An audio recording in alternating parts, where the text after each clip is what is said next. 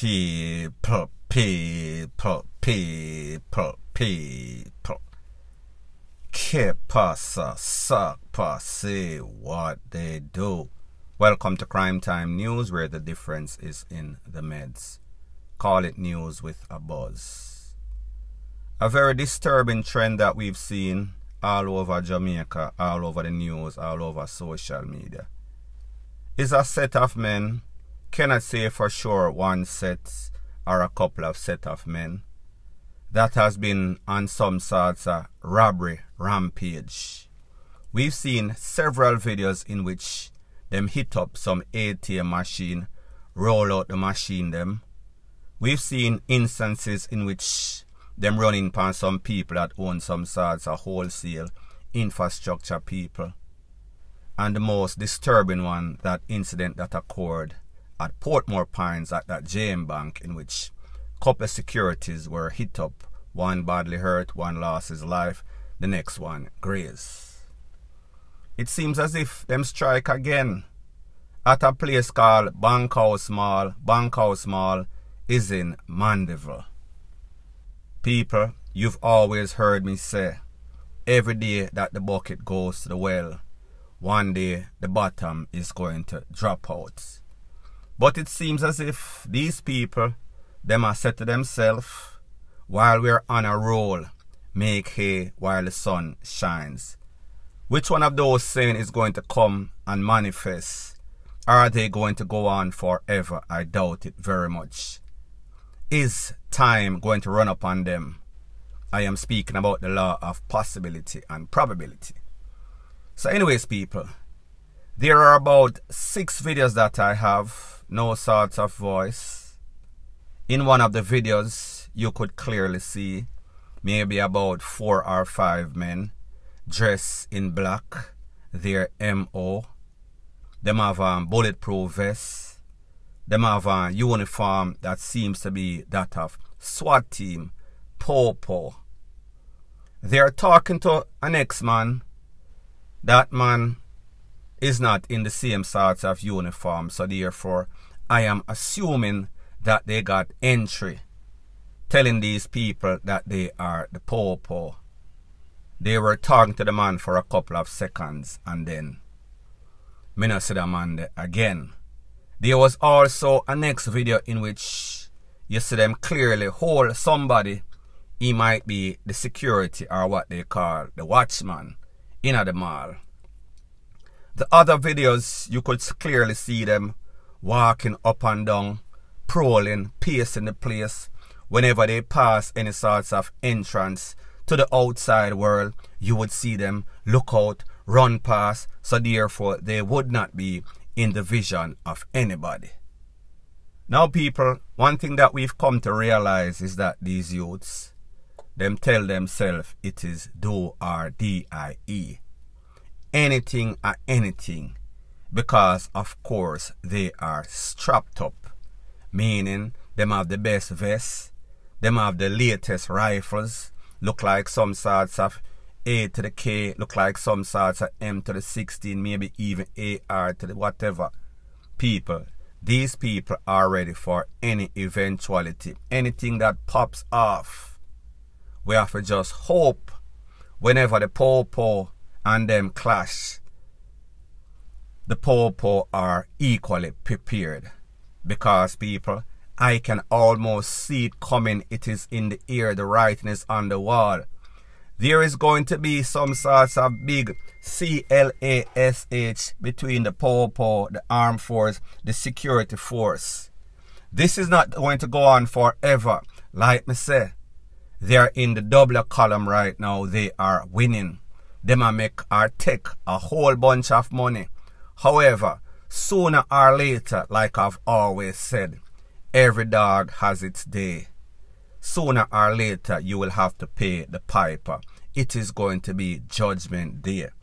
People, whenever that judgment day comes, hopefully the people that are supposed to serve and protect us, hopefully too much innocent people won't be around. Hopefully there won't be a lot of what they call collateral damages. Point blank and period. Further on in the news and still on the topic of robbery. There was a very disturbing robbery the other day at a place called Portmore Pines, JN Bank, in which one security guard from Beryllium, he lost his life. That person's name is Mark Mackenzie. When he lost his life, as usual, whenever anything goes down on social media, in the news in a real life, you always have the conspiracy theories. You always have the bush lawyer YouTuber that always come out and put out all sorts of stuff. I know whenever there is some sorts of rumor that is not true on social media, usually everybody or people, a lot of persons in my comment section, especially when I see it back to back, are saying the same thing.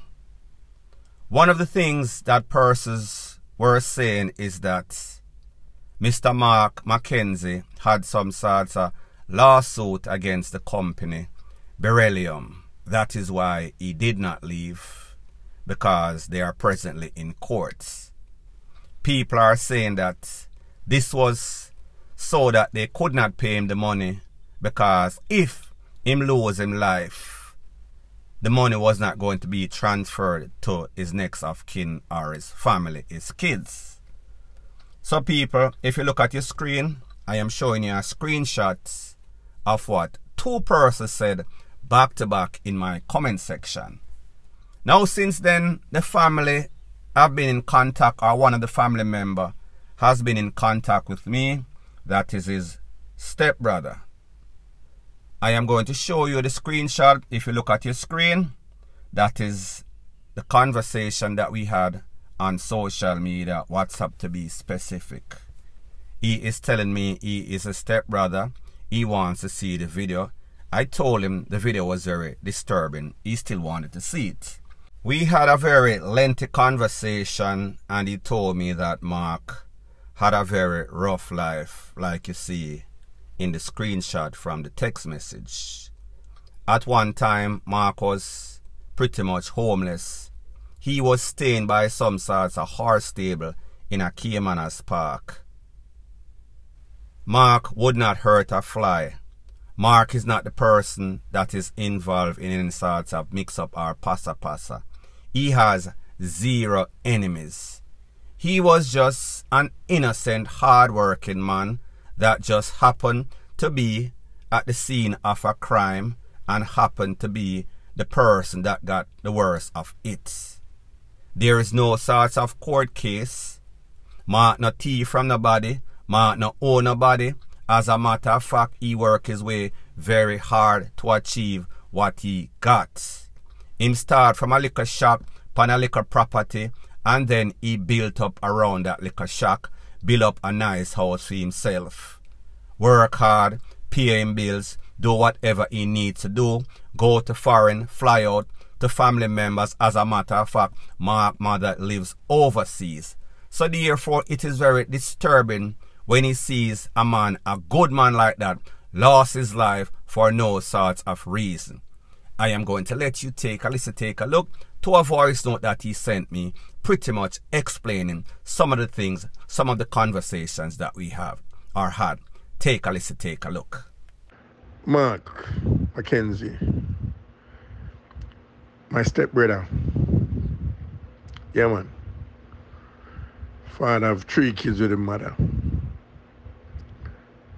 You see, Mark is a youth where I use him for cause, uh, a matter of fact, me migrate from America, uh, migrate from Jamaica to America in the 80s.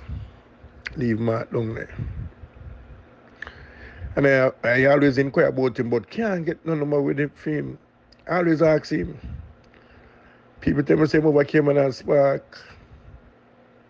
People say him there, yeah, same day there, so.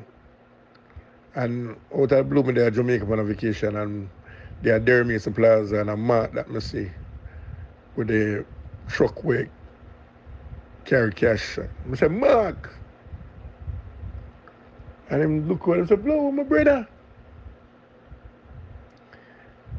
And you know, him, him pork them, I do them, I do, and him come and me and him go like, quick talk. It wasn't long, cause you know, say, the man there, you know, buy the book, quick talk, and him cut and say, give me a number, me give him number.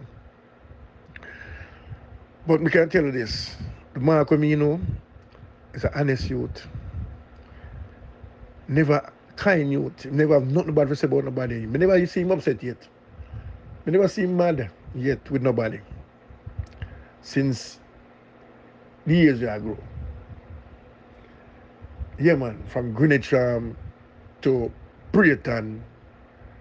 Yeah, man, from we used to go Greenwich um, man, more man buy a house at Braeton and he used to come by, come look for his mother.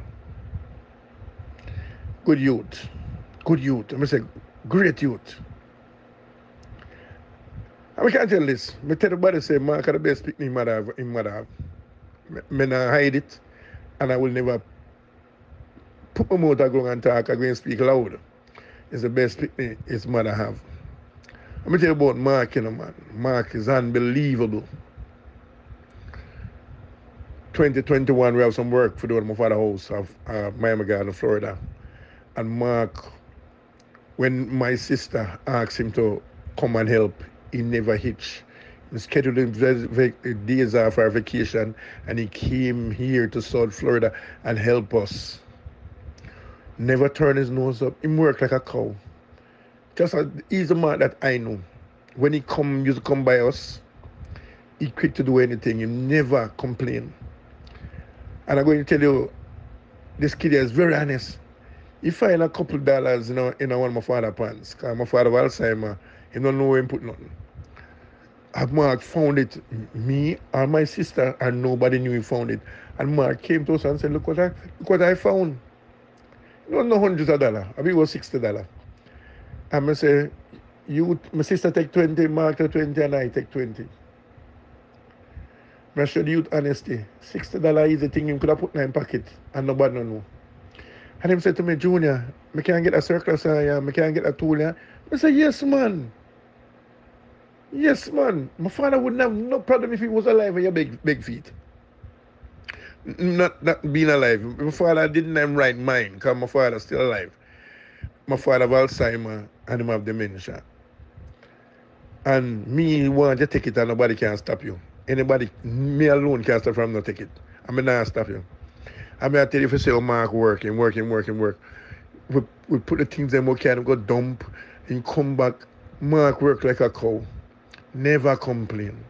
Never complain. Him work, him work, him work. You see that you tell your Mark, him go through some trial and tribulation now. And this youth never resort to violence. He never go for no gun. He never turn gunman. He never want nobody. He never thief for nobody. Him just keep going and going and them drunk prayer. When me look on the bread, all them my step brother, believe you me, there's one day I'm not sleep for. But me see the video of them him. And when Mark run off, and tell Mark, me I said, John, no. You know what I say? Me to ask God forgive me. I said, John, no, why, why don't I hold them boy and fly come to Jamaica and kill them myself? Yeah, man. If I just hold them and just somebody hold them and I can't just make me come kill them myself. Can't wait like you tell them like dog. Them like dog ah, yeah. Him drop the money and run and when you steal him, when you still go him and shoot him. Save him now. A good youth. He went through a lot in life. And him still there. He's a father. He's a stepbrother. He's a husband. He's a grandfather. John know, on the wicked. On the wicked on Jamaica, on the gunman, the wicked. When that make you live to enjoy some of him labor. If you don't know him story, maybe you not leave him alone, but you don't know him story. But you know what, Mark? Don't worry yourself, you know. Because one thing know, your soul is in heaven. There's a place for you in, in the Father's mansion. I can tell you that you gonna heaven. For the years I know you from me live at Greenwich, um, I'm 56 year old right now. And at Greenwich, I'm born. I come know you at Greenwich, um, I moved to Britain 1978. I used to come by. You never trouble nobody. The youth was, hey, when you grow up, man just keep himself to himself, you know, man. Jah Rastafari, when the man come check with you, know, sometimes just him will a seat and just sit down, you know. You know, and just I look. Jah Rastafari, I know. We never get over this. Never. Believe you me. But Mark, walk good. Me see you. Because I road for all of us. It's just how them drunk or you take you out of this world. Love your brother. Now, people, if ever we've heard a heartfelt speech, you hear that this man is hurt, this man is cut up. However, not on the mushy stuff. Our heart is kind of numb, especially as a blogger. So we hear from the stepbrother and like I told you, there are rumors on social media, YouTube, through some bloggers. But like I've always said, people like mix up passa passa. Nobody wants the truth when the lie is more entertaining. A lot of bloggers, even your top bloggers, pretend tell a whole bunch of lie. However, who know, know, some know, some not really care. The man tell us uh, this is a father of three kids. I have pictures that are posted on social media. He told you that, listen, he migrates and when him lost contact with Mark, it's like him feel as if something missing in his life. Coincidentally, he would buck up in a Mark again somewhere in a Kingston, in a Jamaica. He told you Based on his experience and what he know of this man, him know him like the back of his hand. He's honest, he's kind, he's a people person. He is not in any sorts of mix-up why anybody would try to take him away, including his employees, beryllium. No sorts of court case. He make you know say this man is a one of a kind. You're not to find people like these. They don't build them like that anymore. He is what you call a genuinely good person, a good friend. Him tell you, say, from him go overseas, and there, Mark used to come check him, even up to last year, this year, sorry. Mark work like a slave. Mark honest. Mark not thief, nothing and tell you about the experience that he had when Mark found some money. It was not a whole bunch of money. $60, however, it is the principle, not the amount. So the stepbrother pretty much dispelled all of the rumors that he had some sorts of lawsuit. He was supposed to go overseas the next day. Yes, he has traveled before, but he was not supposed to be leaving no lawsuits. He told you, explain in intricate details the type of struggle that this man went through. He never turned to any sorts of GUN or any sorts of criminality. You could hear that this man was cut up to hear and see the video of his friend laying down upon the ground, D-E-A-D like a D-A-W-G. People, just imagine you have a good friend, a relative, and hear or see stuff like this. People, you hear the man. A legal, law abiding, tax paying, decent citizen. And if he could come to Jamaica and face those people that took away his friend unjustly, unnecessarily, he would.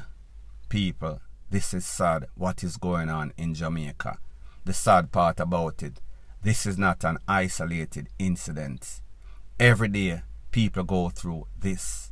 Every day people lose a friend, a family, a loved one, husband, wife, whatever it is, for no apparent reason because of BS. Point blank and period. So anyways people, thanks once again for checking out my video. If you appreciate videos like this, please show your appreciation by liking, commenting, sharing, and subscribing to my channel. That is how YouTube promotes videos like these to like minded, sensible persons like yourself. Bless up.